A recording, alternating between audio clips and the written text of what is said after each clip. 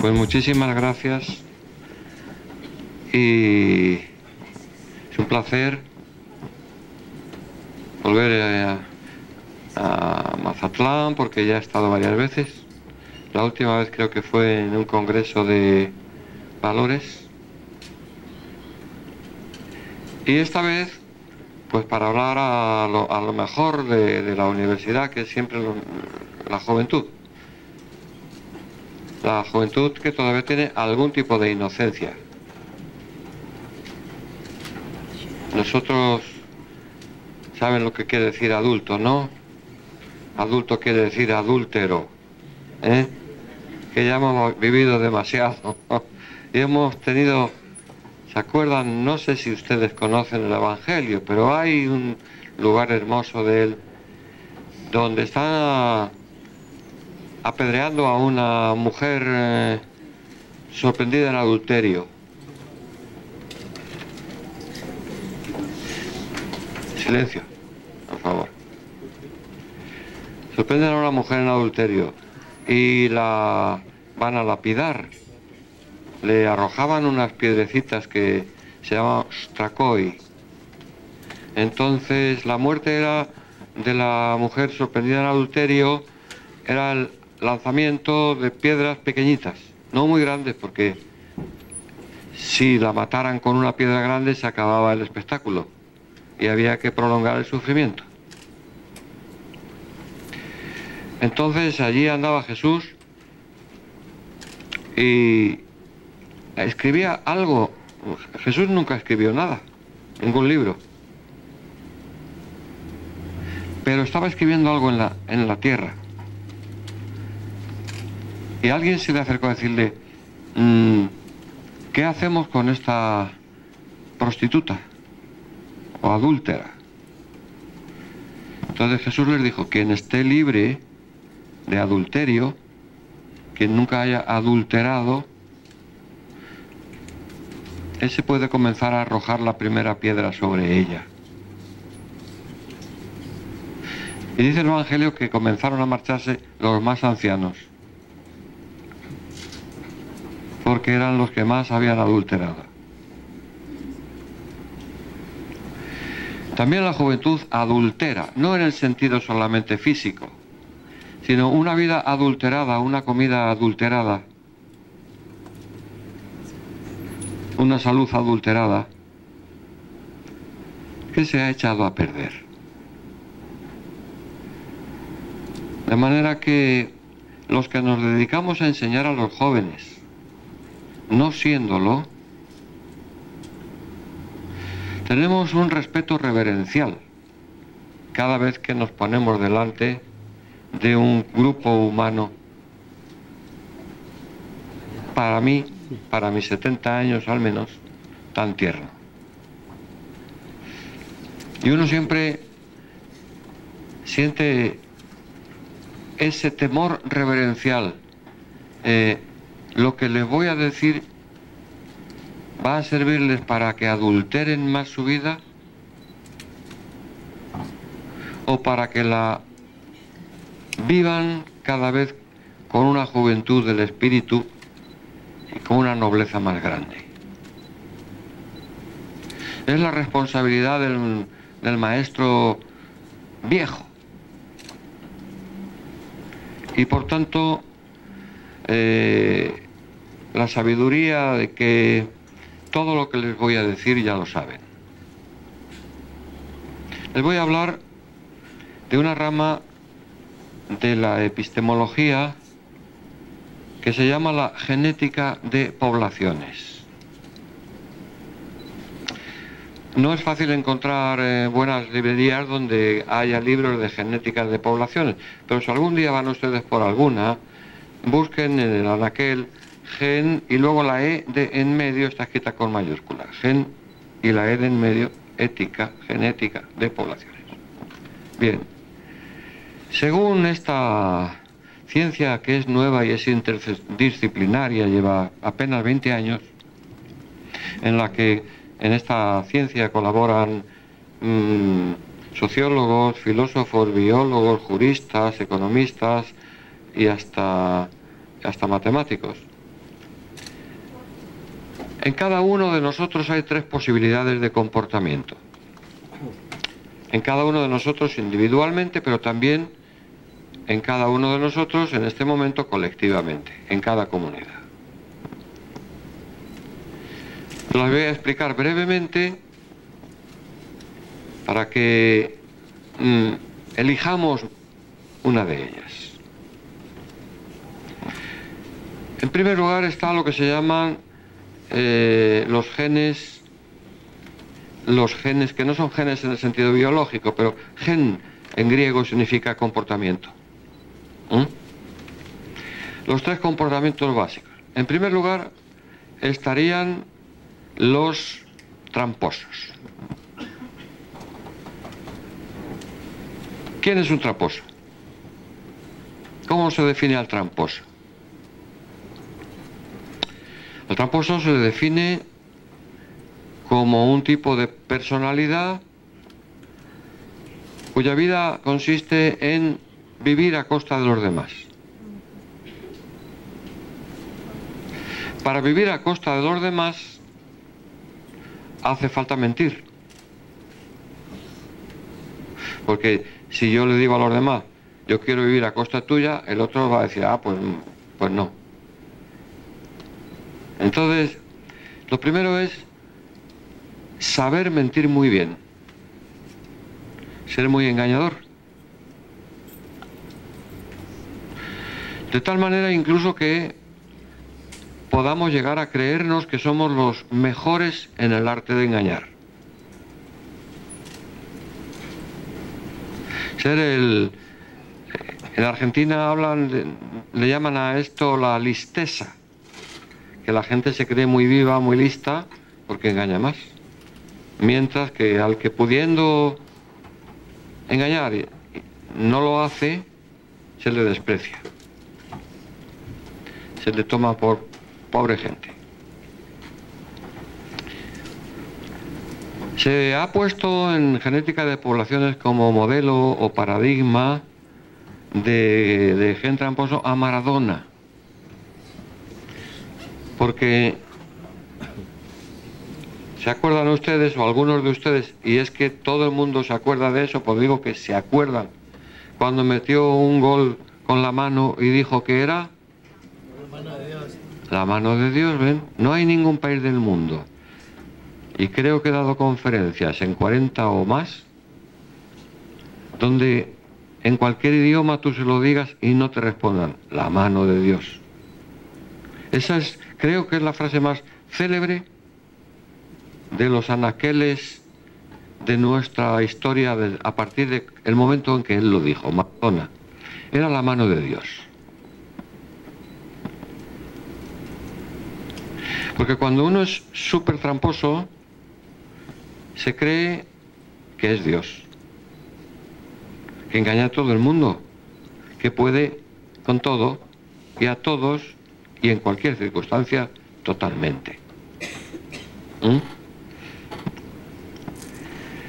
Así, por ejemplo, Maradona fue representante de la lucha contra la droga, elegido universalmente cuando era un drogadicto que se estaba matando ya.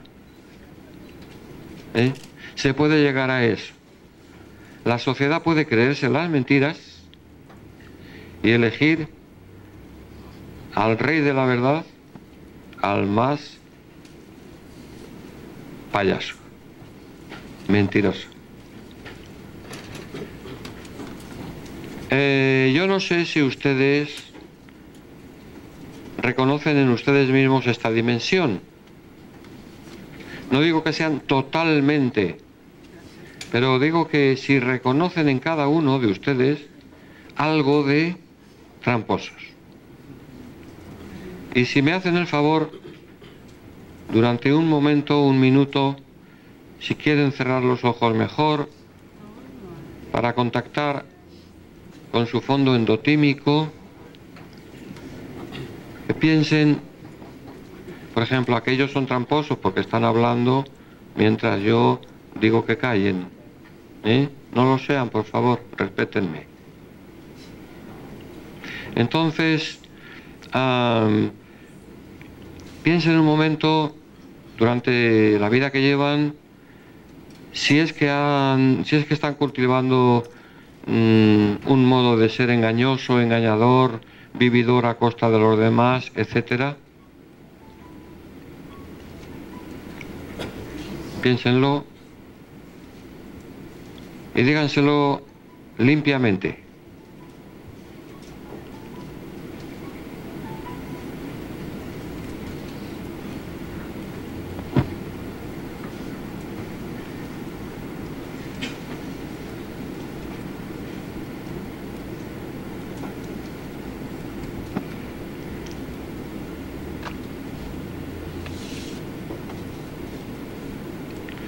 Piensen por qué hacen la trampa y a quién se la hacen.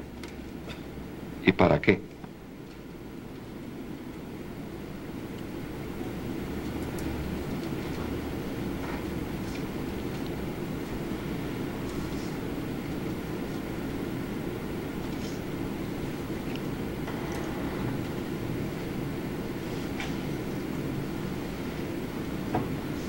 Bueno. ¿Qué pasaría si en este momento todos los aquí presentes fuéramos tramposos? En este momento, los miembros de este colectivo somos tramposos. Ah, como por necesidad, no todos serían igualmente tramposos, sino que aquí hay unos más que otros, más tramposos que otros, hay gente como más inocente que otra,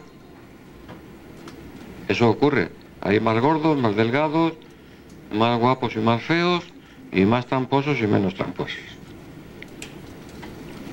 A ver, ¿quién, empezaría a perder el juego? A, irle peor, ¿a quién empezaría a irle peor en la vida? ¿A los más tramposos o a los menos tramposos? ¿Puedo oír en eh, ¿Pueden decirlo en voz alta? ¿A quién le iría peor? ¿Quién empezaría a morir antes? ¿A quién, quién caería antes? ¿Los más tramposos o los menos? Exacto, los menos tramposos.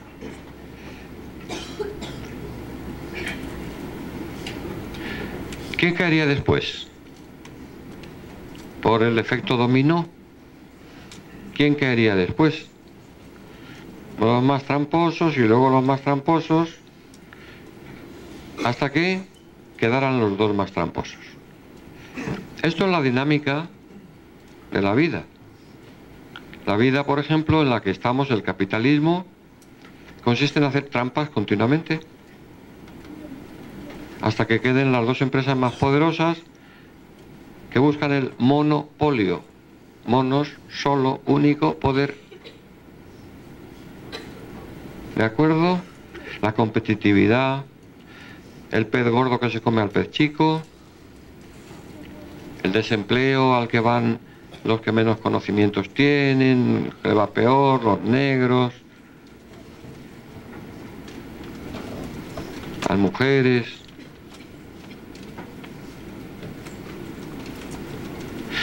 Bien. ¿Qué, pasaría cuando quedáramos los dos más tramposos. Ustedes que se conocen, elijan a los, más, a los dos más tramposos de por aquí. En serio, en serio. Eh, premienles señalándoles como tramposos.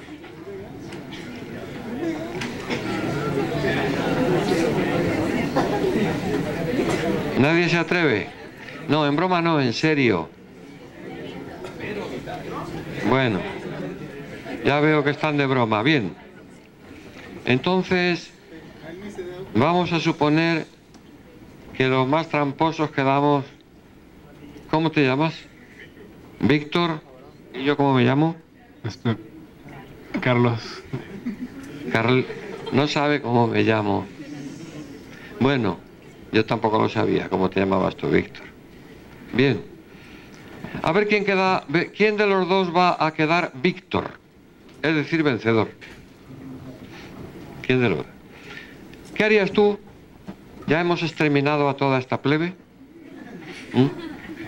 Y tú y yo hemos demostrado que somos los, los más vivos. Muy bien. A ver. ¡Wow!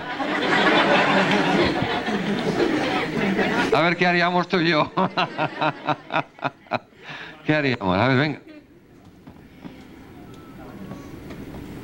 Pues...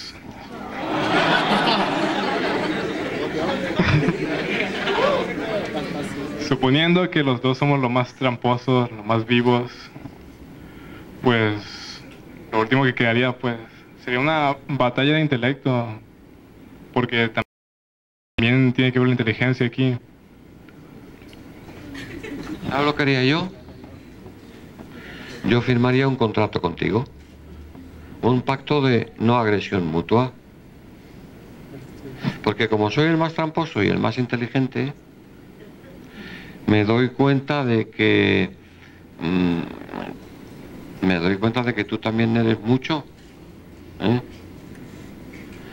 y, y, vamos y, y, voy a decir tú y yo ¿por qué no firmamos un pacto de agresión? esta parte de la tranza para ti y esta parte para mí y ya está, podemos vivir ¿te interesa? La verdad desconfiaría Mira que Víctor hemos elegido bien, ¿eh? Porque el tramposo no se fía nunca. No se fía. El otro me va a engañar. Esa es... Soy muy listo, pero el otro me puede engañar. Mira qué inteligente. No se fía. Pero pese a todo, ¿lo firmarías o no? Bueno, es, existe la posibilidad de que yo lo pueda estafar a usted. o sea, que sí lo firmarías, ¿no? Por si, por si hay eso, pero eso no, no, harías caso y cuando pudieras, plum, me darías en la cabeza, ¿no? A ver, dame en la cabeza. Dame, dame en la cabeza. Muy bien, siéntate, Víctor, gracias. Pues es lo que pasa. El otro día, mm, hace algún tiempito, me llamó el señor Slim, que quería conocerme. Yo creo que no tengo tanta importancia, pero le habían hablado de mí y tal. Bueno. Y me llevó a la, terraza, al, tiene una torre allí en el DF que es eh, casi de las más grandes, ¿no? y se veían las personitas así desde allí, ¿eh? Yo decía, este cabrón me ha subido aquí para arrojarme. ¿eh? Pues, pues este yo, bueno, eh, quería conocerle a usted y tal, porque me han hablado de usted y tal, y, dicen que usted es un crítico del capitalismo, pero que lo hace con cariño. Bueno, comenzamos a hablar y al final, al final, ¿cuál es mi agua? de las dos, esta.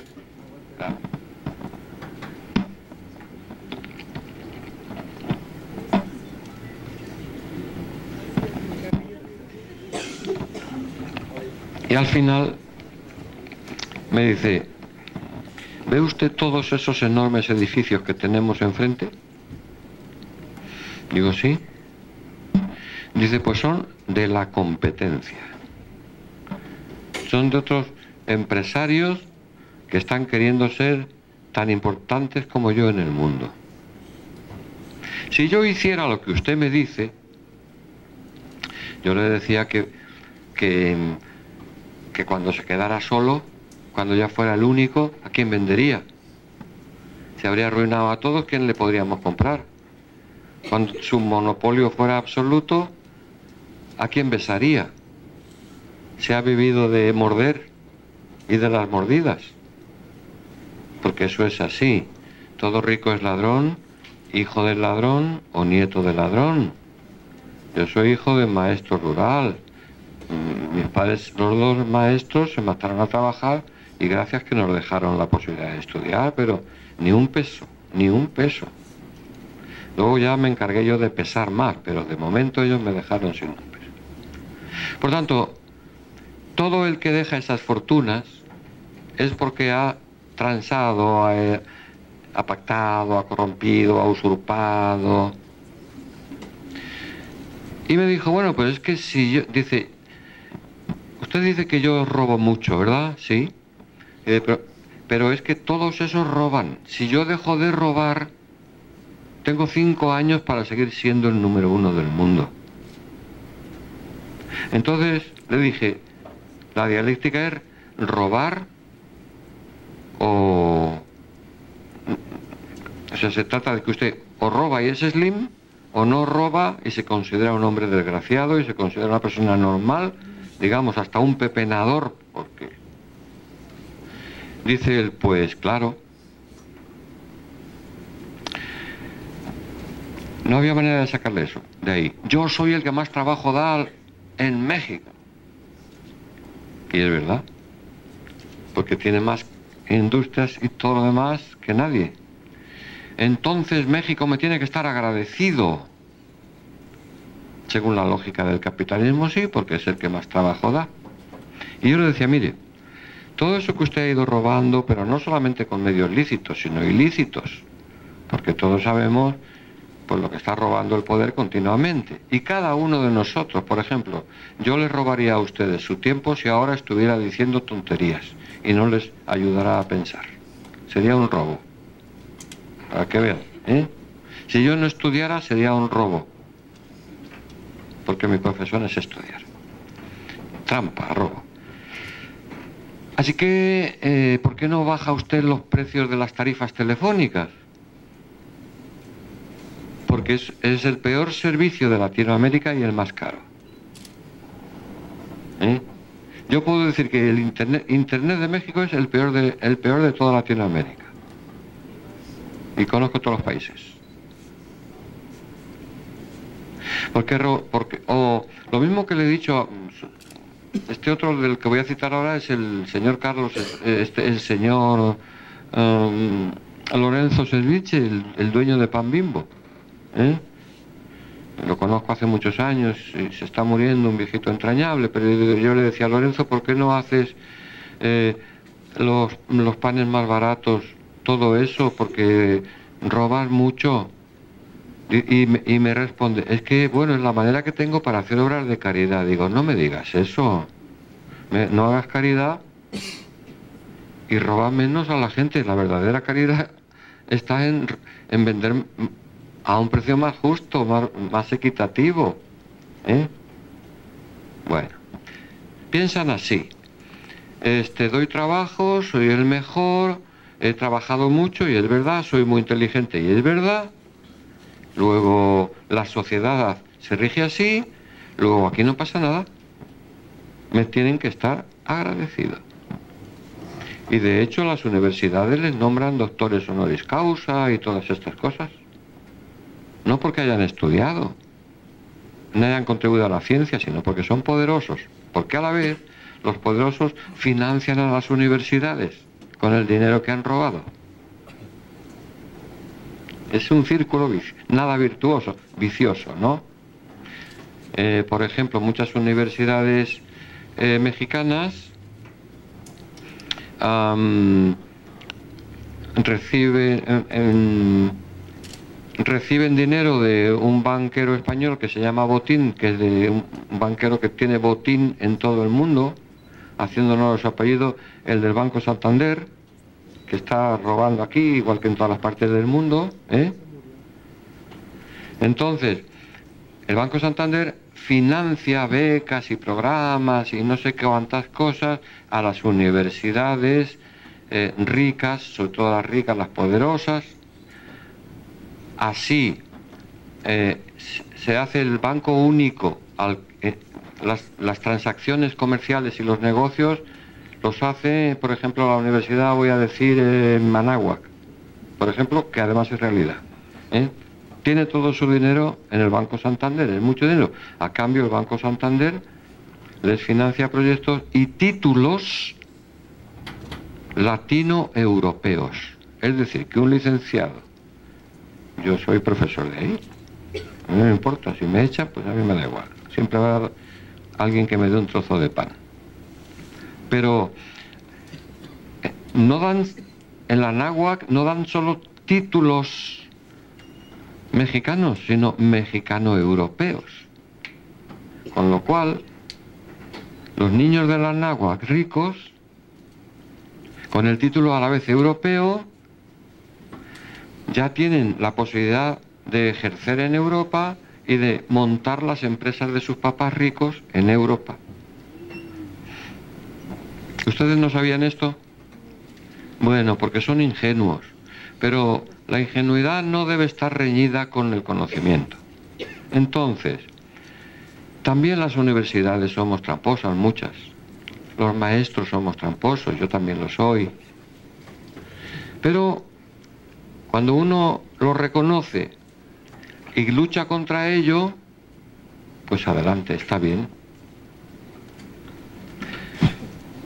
Fíjense que por último le digo al señor Slim, miren, señor eh, don Carlos, este, ¿usted es religioso? ¿Usted es creyente? Y me dice, sí.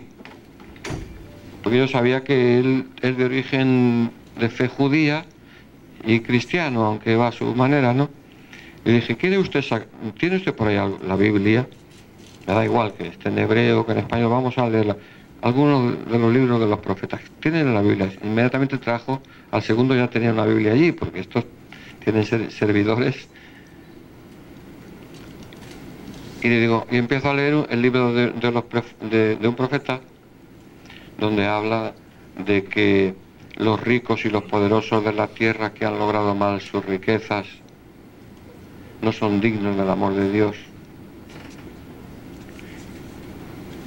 y se altera un poco. Dice, bueno, bueno, la religión no tiene nada que ver con los negocios. ¿Te dan cuenta? La verdadera religión no es la religión. ¿Cuál es la verdadera religión? Los negocios. Entonces tenemos, yo soy católico, ¿verdad? Y me duele, pero tenemos tantos católicos hipócritas y mentirosos. Pero lo mismo ocurre con los comunistas o con los fascistas. Esto es así. Y ustedes pueden llegar a ser así. Incluso a creerse buenos porque son ricos. Todo el mundo les alaba. Tienen cortesanos, tienen seguidores, tienen dinero, todo el mundo les saluda. Y se creen que son honestos y buenos porque no han querido reconocer esas partes pequeñas o grandes de gente tramposo que ha ido agrandándose a costa de darnos cuenta de ellos. Ni siquiera nos damos cuenta ya. Pero así está el mundo. El mundo camina hoy hacia la destrucción energética. Esto no lo sabe nadie, pero lo saben todos. Quiero decir, esto es una obviedad. ¿eh?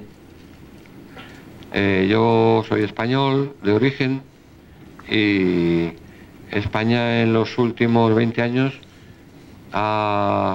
tiene 4 grados de temperatura más de lo que tenía hace 20 años. 4 grados en 20 años. ¿Qué será en 500 años? Y es la parte sur se está desforestando, devastando eh, y camina hacia el desierto. Muy bien. Londres, de aquí a 40 años, va a tener el 60% de su superficie hundida en el agua, por todos estos efectos que ustedes conocen. Bien. Pues aquí estamos cada vez más tramposos y cada vez más felices.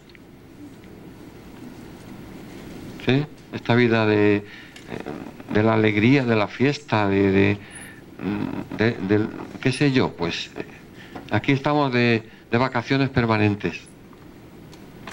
¿Mm? Bien.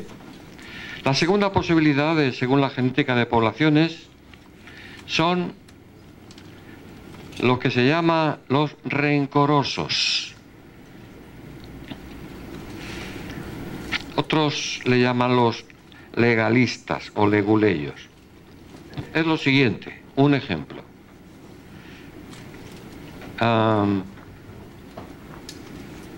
iba, ¿te acuerdas? Yo te di un golpe hace, hace cinco años, duro, fuerte.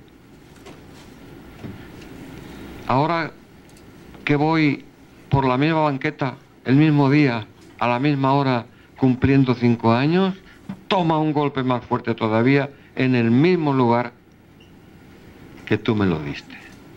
El rencor consiste en no olvidar, no perdonar. No perdonar. No pongas esa carita de sufrimiento, mi niña. ¿eh? Estas son cosas que pasan y... Entonces, miren, la expresión más pura del rencor es la ley del talión. ¿Qué dice la ley del talión? ¿Le suena a alguno de ustedes? Ojo por ojo, diente por diente, cardenal por cardenal, es más largo. Bien, ¿eso qué quiere decir? Que la verdadera, la verdadera justicia, no, no, no se alarmen, la verdadera justicia consiste en devolver exactamente lo que te han dado. Porque la justicia nunca devuelve exactamente. Hay a quien le mete 30 años de cárcel porque ha robado una manzana, ¿eh? y así. Está mal ojo por ojo, diente por diente, pero es la justicia menos mala que hay. Todo el mundo que quisiera que al que le violaron, pues le violaran. Quiere, si un padre tiene una hija a la que han violado, quiere que al violador lo castiguen. ¿No? Es una aspiración universal. Pues eso es la ley del talión. Aunque tenga tanta mala fama. Entonces, el tramposo, perdón, el rencoroso, eh, no perdona. Al revés. Iba, ¿Te acuerdas que hace cinco años íbamos por esta banqueta, me diste un golpe? Y ya, yo te lo doy un poco más fuerte. ¿Por qué te lo doy un poco más fuerte? Porque tú empezaste primero. O sea, y entonces hay que, hay que, hay que añadirle un castigo suplementario. ¿Cuál es? Un golpe fuerte. Y cuando el otro, que te dio un golpe, recibe uno más fuerte, ¿qué hace a su vez? Golpear un poco más fuerte porque tú me has golpeado más fuerte de lo que yo te golpeé. De esta manera, la espiral de la violencia no cesa. Vivimos en sociedades violentas y vengativas, que es lo que caracteriza al, al, rencor, a las leyes y a todo. No habiendo lugar para el perdón.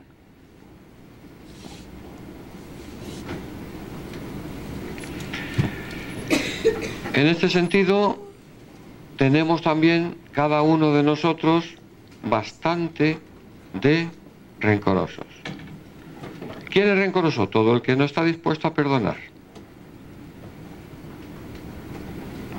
Una formulación bien simple. Todo el que va acumulando y acumulando y acumulando ahí sufrimientos que me infligiste.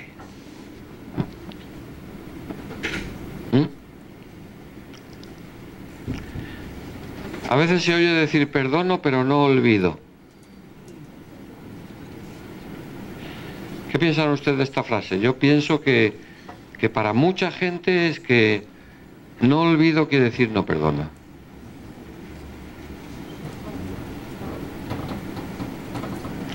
Pues este es el segundo comportamiento.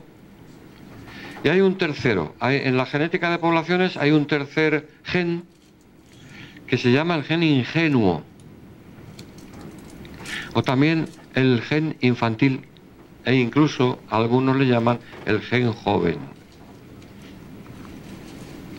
¿En qué consiste? Pues consiste, en primer lugar, en no ser tramposo, en segundo lugar, en no ser rencoroso, y en tercer lugar, en ser amoroso.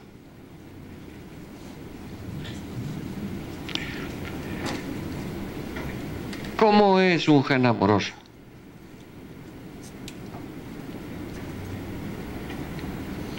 ¿Por qué se caracteriza? Porque, por lo siguiente, porque si algo malo le pasa a la persona a la que yo amo, yo sufro.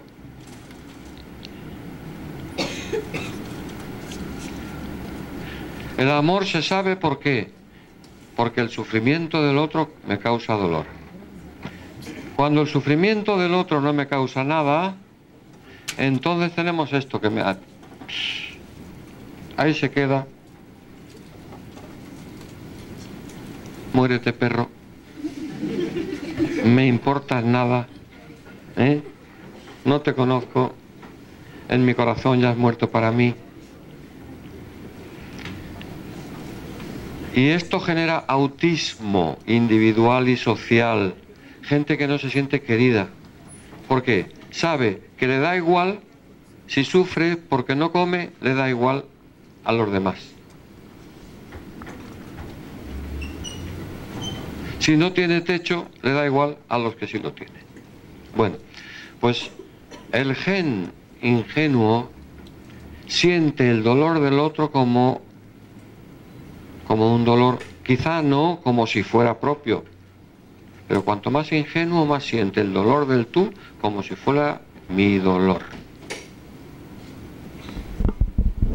Y precisamente no todo se queda ahí, sino que al sentir yo que tu dolor me duele, solo a partir de ahí puedo intentar luchar contra tu dolor, que también es el mío, y a eso se le llama amar.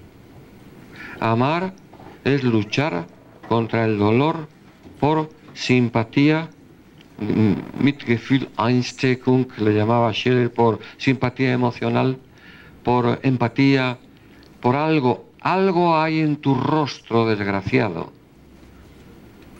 que me impide venir de ir de vacaciones a la India. Yo no puedo ir de vacaciones a la India.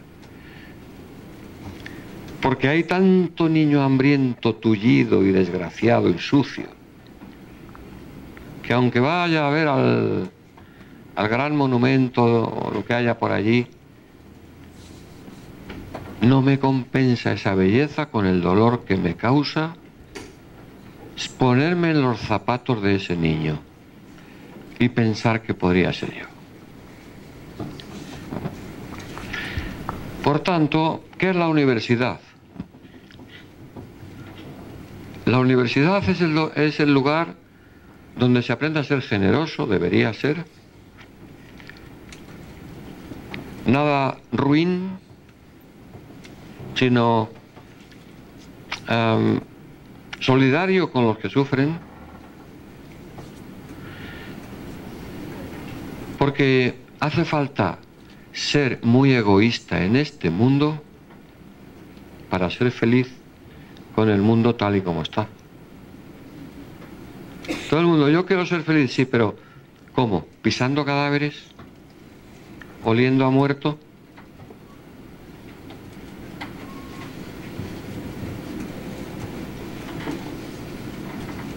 Yo no puedo ser feliz allí, no me interesa. ¿Mm? Yo quiero que ustedes crezcan conmigo y yo con ustedes. Que sean felices, por supuesto, pero no a costa de la indiferencia de los no universitarios. Si cuando ustedes salgan de aquí son más felices porque tienen un título y una laptop,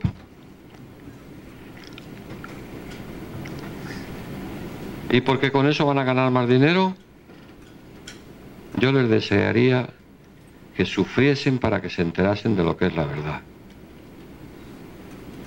para que vieran la gran cantidad de gente que no tiene nada de eso. No les desearía felicidad, porque la felicidad, construida a base de la indiferencia, el rencor, la mentira, la insolidaridad, no es digna del ser humano.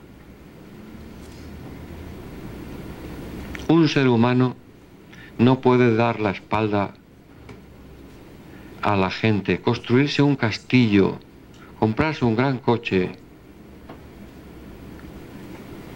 y vallar, tapiar su finca o electrificarla como hacen algunos. Si ustedes van a ser universitarios para eso, yo les deseo que ojalá les vaya mal.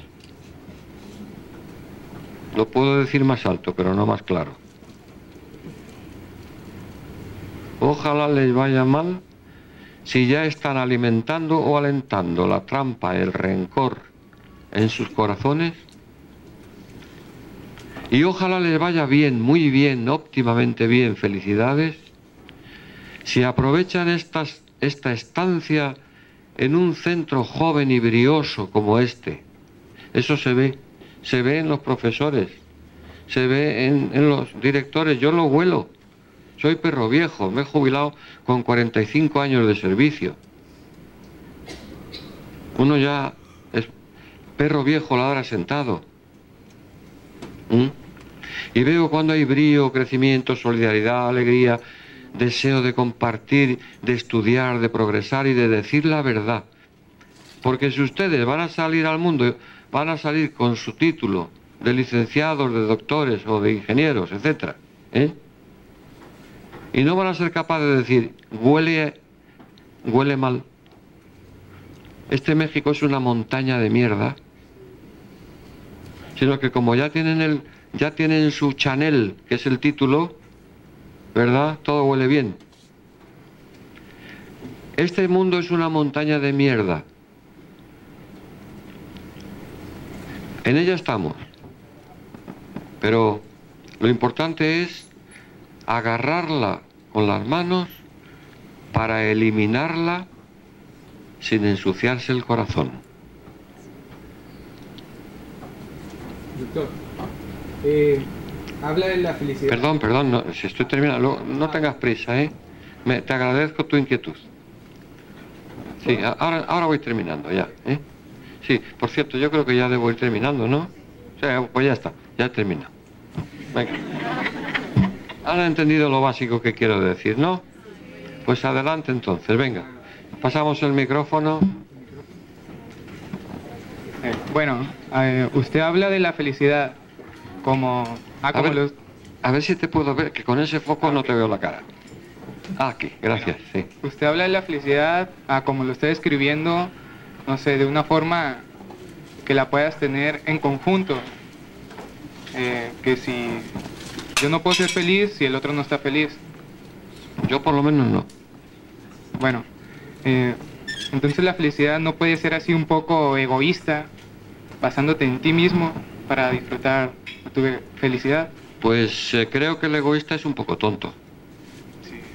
Porque en primer lugar, egoísta quiere decir que todo lo que te han dado a ti, te lo quedas y ya tú no lo das a nadie. Ok, y... No, pe- pero, perdona, ok, no. Estamos dialogando, no te pongas Sí, sí. tranquilo, si nadie sabe más que nadie. ¿eh? A ver, yo te digo, el egoísta es esa persona que ustedes ven en televisión, que es el famosillo. eh, ¿Usted no se arrepiente de nada? Y muchas veces que dicen, no. ¿Cómo se puede ser tan ciego, tan estúpido? Eh, es que ¿Sabes por qué esos dicen que no se arrepienten de nada? Porque para la, la gente es nada. Y como la gente no existe, sino su solo, solo su ego, ¿eh? no se arrepienten de nada. Y si le pongo, no sé, un ejemplo de... No me estás escuchando, no sabes escuchar, no sabes dialogar, Sí. estás pensando en la Es que- respuesta y en tu ejemplo. No, es lo que yo le quiero decir. Pero espera, Ok. o- escucha, si vas a tener tiempo. Está bien. Eh, ¿qué, qué acabo de decir? Artista que, Eso. que habla... que- Bueno, ¿estás de acuerdo o no con eso? En que nadie se ha dado el idioma a sí mismo. Ni el artista, ni su voz. pues, ¿Mm? ¿Le han parido o no se ha parido a sí mismo? no, no ¿Eh? puede. Le han dado la leche y él no. O sea, quien diga, no le debo nada a mí mismo y no me arrepiento de, de haber hecho mal a nadie, cuando menos es un tonto. No merece escuchar sus canciones, porque su alma es tonta. Y ahora, con mucho gusto, adelante, por favor. Ah, Bueno, volviendo así de que si se ve la felicidad de una forma egoísta, eh, un ejemplo, un estudiante que quiere estudiar para ganar dinero, pero en un mundo en el que estás ahorita, que si no tienes dinero no vives bien, y tú quieres ganar ese dinero para formar una familia y así poderle dar un bienestar a esa otra persona, ahí tú generas tu felicidad de una forma egoísta. No, es- la estás compartiendo con alguien más. Es muy interesante. Incluso se llama, esto se llama el egoísmo inteligente, ¿eh? la genética de poblaciones. Usted, yo, yo soy egoísta, mm, no me importa el sufrimiento de nadie, mm, pero quiero mucho a mi familia. Entonces yo trabajo y yo produzco riqueza y no me pida usted otra cosa porque en este mundo no cabe otra cosa. ¿Te entiendo bien? Bueno.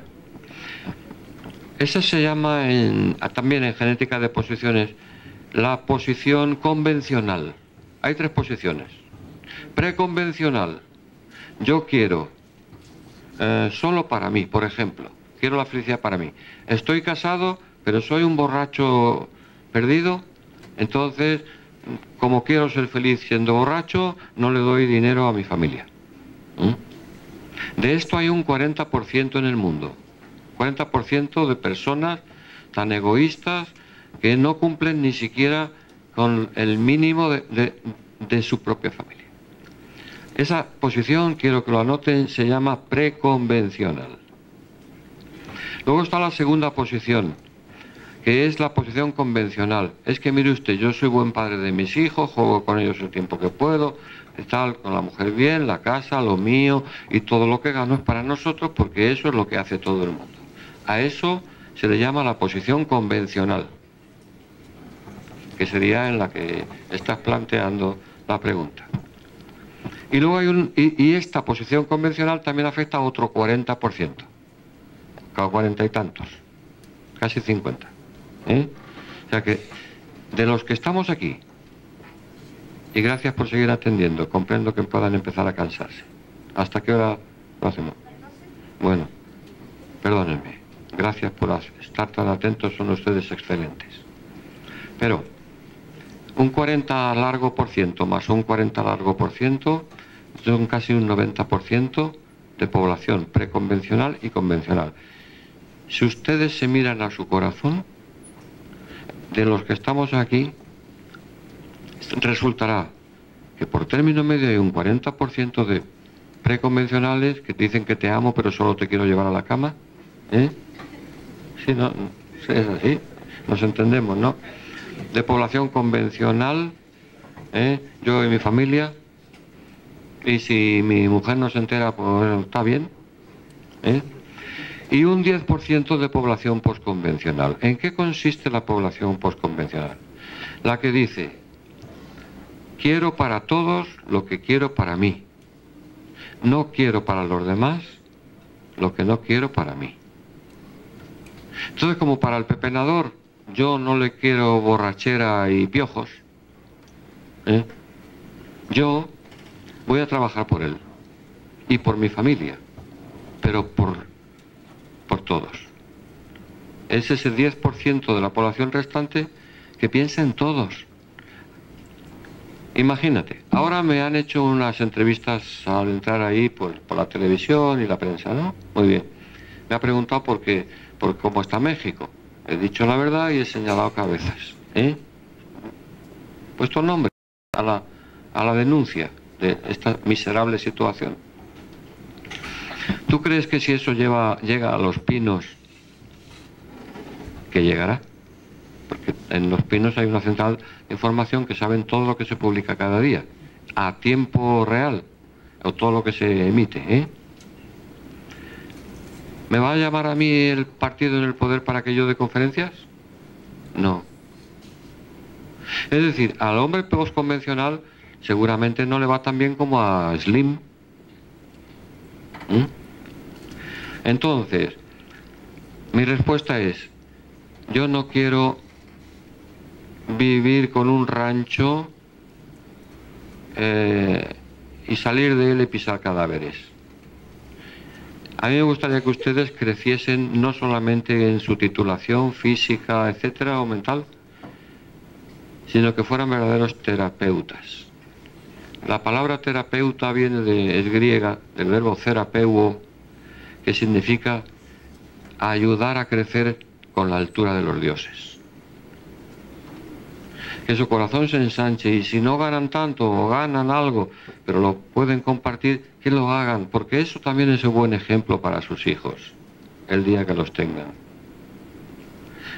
Que si tienes tu closet lleno de cosas, aprendas a, a vaciarlo y no a renovarlo con más nuevas, porque en realidad, como decía Sócrates,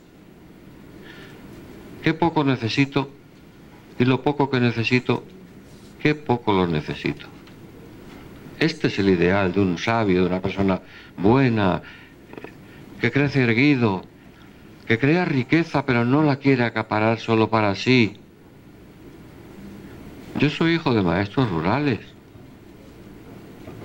He sido coordinador de la UNESCO como discípulo de Piaget. Piaget me dejó a mí en la UNESCO a coordinar 40 países de epistemología genética. He ganado lo que nadie sabe, más que un torero. ¿Mm? Pero cuando yo empecé a hacer filosofía, me decían, con eso te vas a morir de hambre. Nunca me interesó, yo quería hacer filosofía. Y mire usted por dónde. No es cierto que la filosofía genere muertos de hambre. Si eres bueno en lo tuyo, te, va, te, van a, van a requerir por todas las partes del mundo. Pero para eso tendrás que aprender idiomas. ¿Cuántos? Los más posibles. Hoy, con que hables tres idiomas, eres un desgraciado. En los niveles de investigación. Es muy poco. ¿eh?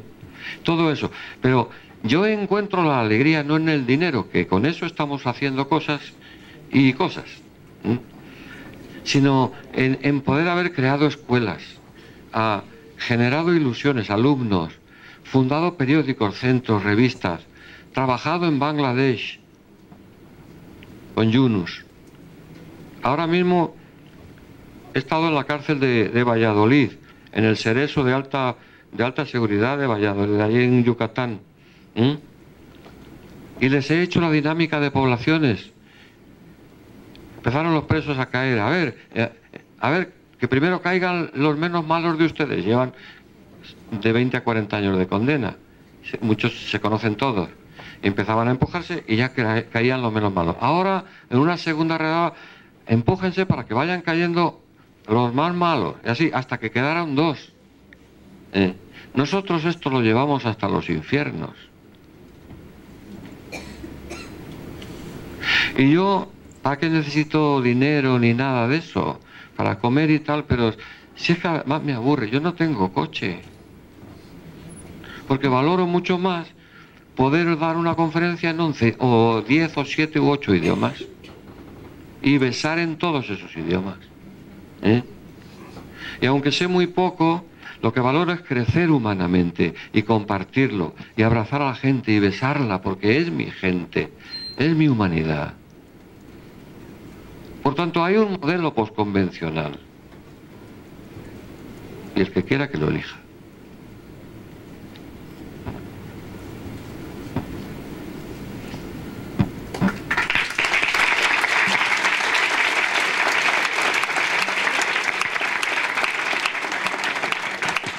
Muchas gracias por sus palabras. Mi nombre es Esmeralda.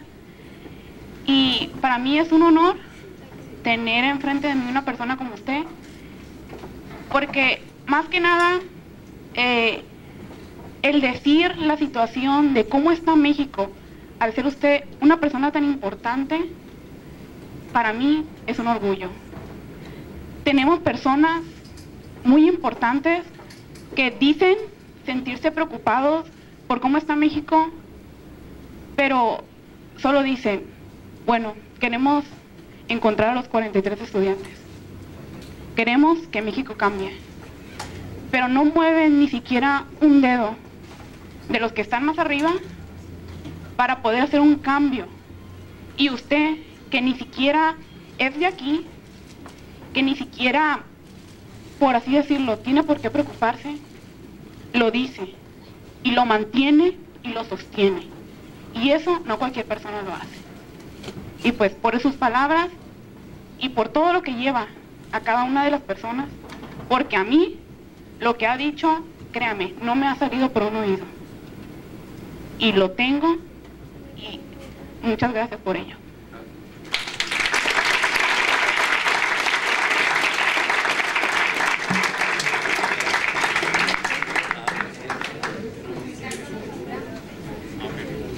Ah, mi nombre es Ricardo Aldair, de la estudiante de Ingeniería en Energía. Lo único que le iba a decir he aprendido aquí en este momento, su experiencia de vida y todo, y acerca de qué es lo que está pasando, bueno, lo que está pasando en este momento en México, quería saber si nos podía decirnos un poco más abiertamente a todos su punto de vista. Por favor.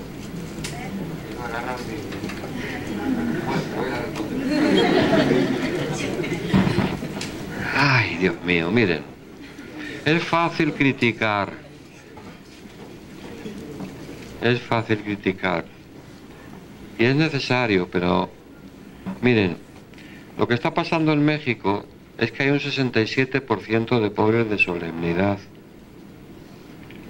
No, no lo que dicen sus estadísticas, las que tenemos en la UNESCO. Y con esa cantidad de gente de pobres de solemnidad no hay justicia y por tanto tiene que haber violencia. Y tiene que haber ignorancia. Y tiene que haber mentalidad preconvencional. Y eso es lo que está pasando en México desde hace muchos tiempos. No sé si tendrán la culpa los gachupines, a mí me da igual. ¿Eh?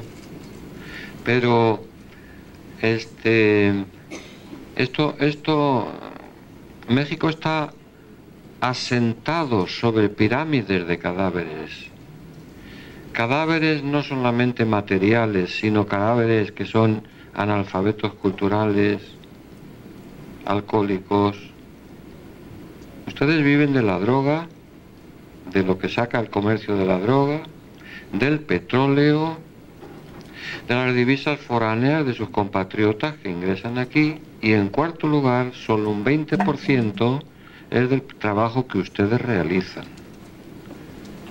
¿Verdad que ustedes han estudiado educación social y no sé qué, y cultural y ciudadana y no sé qué, y cantan honores a la bandera y todo esto? ¿eh?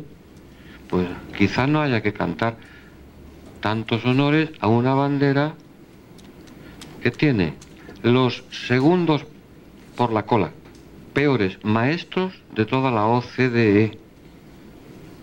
Pues miren, esto es México. Yo me duele y lo amo, porque me duele lo amo. Y, estamos trabajando humildísimamente, aunque no pagamos nada, pero sí entiendes. Y eso hay que saberlo. ¿Quién te lo enseña? ¿Tus maestros? No. ¿De qué vivir? De la mentira, de, de la ignorancia. ¿Tus maestros quiénes son? Ignorantes. ¿Por qué?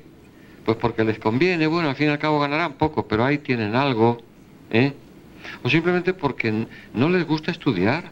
Estudiar es muy difícil y muy duro. Es horrible, te duelen los huesos, sobre todo si estudias cada día muchas horas.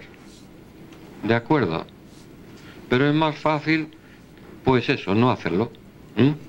Y luego ser profesor de tal universidad o de tal sitio. Miren, no, entonces, ¿quién sale? Gente acrítica, totalmente ignorante, que no sabe de qué va. ¿eh?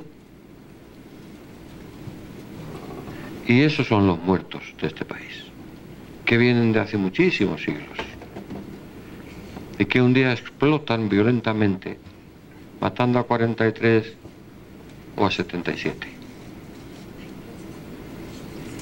Yo creo que para...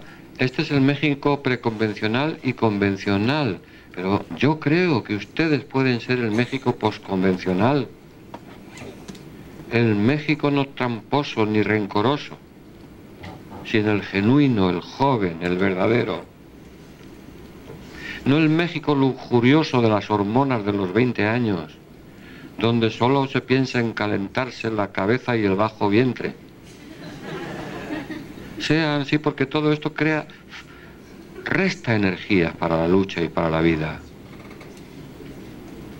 ¿Me he expresado bien sobre la situación de México? ¿Te pregunto? Gracias.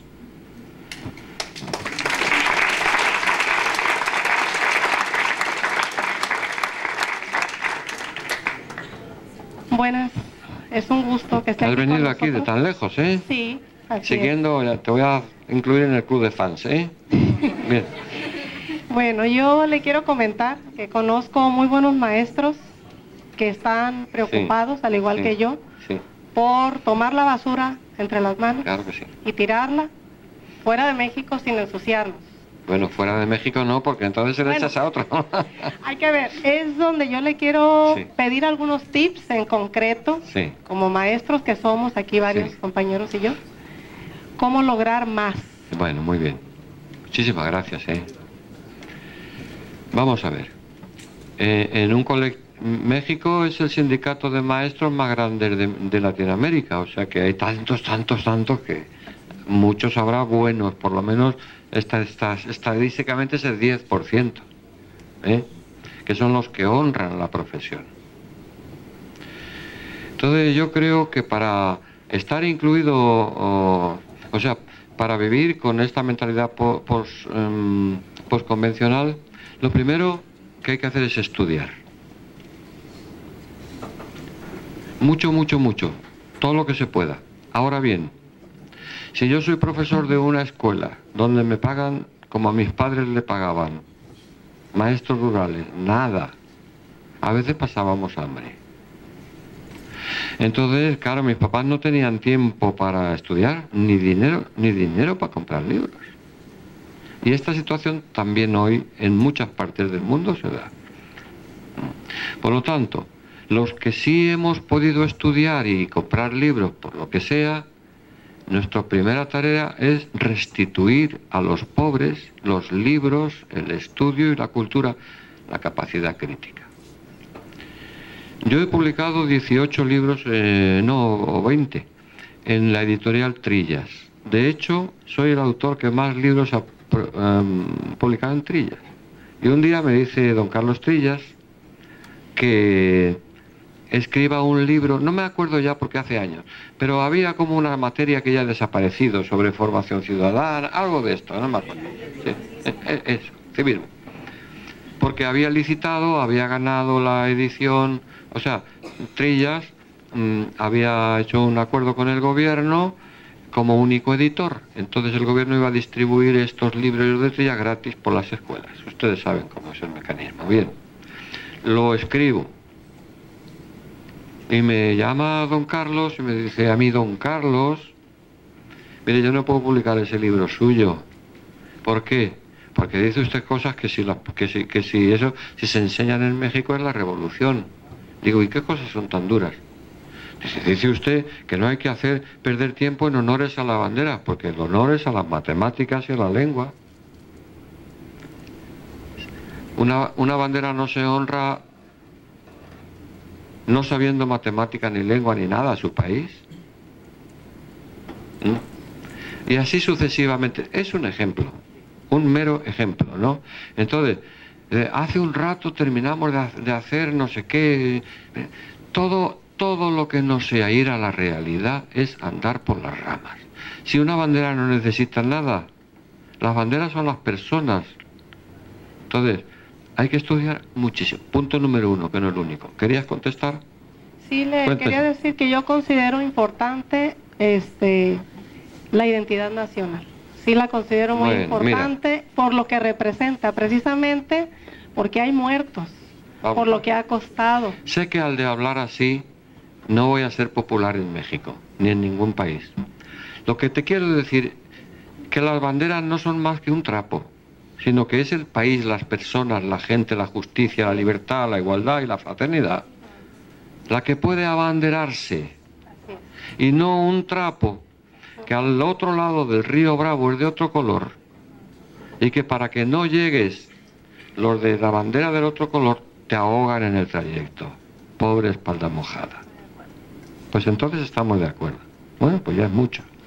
Porque esto mucha gente no lo entiende, porque tienen, así como hay un egoísmo familiar, ¿eh? Eh, convencional, así también un egoísmo nacional. Yo no me considero de ningún país, sino que mi país son las gentes pobres y buenas. Y cuando estoy ahí, soy de ese país. ¿Cómo voy a ser español si España es un saco de vicios? ¿Eh? En España son los bancos que después de la conquista de América vienen ahora a conquistar el dinero. Banco de Bilbao Vizcaya, Banco Santa Isabel, grandes bancos. Ustedes, ese no me, duele, pero yo no me considero. Primera cosa. Segunda cosa, a- era estudiar. Tú me has preguntado qué puede hacer más. Mm, tener sensibilidad para el dolor ajeno y la ignorancia ajena el dolor ajeno, porque si no, aunque sepa mucho, te va a enseñar, aunque sea así frío como un, un mecano. La enseñanza de la Alemania nazi era fría, fría, totalmente, mecánica, calculada, estereotipada, rígida, frígida, así era. Y mire lo que salió. Entonces, instrucción, nutrición, cariño y, y respeto, seriedad, puntualidad, que no es ah, yo respétame porque estoy, aquí en una tarima, no es eso. La palabra respeto viene del latín respicere, respectum, respeto. Respicere significa mirar a otro con benevolencia. Benevolencia, quererle bien.